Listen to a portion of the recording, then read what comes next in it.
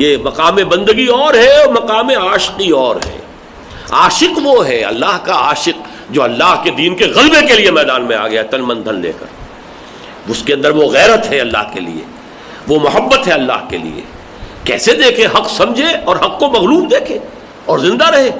हज़रत अबू बकर ने जैसे कहा था अयुबद्दीन आना हई क्या दीन में तगैर तबदुल किया जाएगा, जबकि अभी मैं ज़िंदा हूँ? मेरे जीते जी ऐसा होगा? नहीं होगा। ये जज्बा है जो दरकार है। मकाम बंदगी दीगर, मकाम आशकी दीगर। जे नूरी सजदबी खाई। फरिश्तों से तो इतात ही चाहिए ना। नानो सब हमद का वनुकद सुलक आपके अकाम की जो है, वो हम सताबी वो जो है, तनफीस कर रहे हैं। जे खाकी बेशदा खा ये खाकी जो इंसान है, इससे अल्लाह तुझे कुछ और मतलूब है। क्या मतलूब है? चुना खुदरा निगेदारी। अपनी जात का तुझे इतना एहसास है।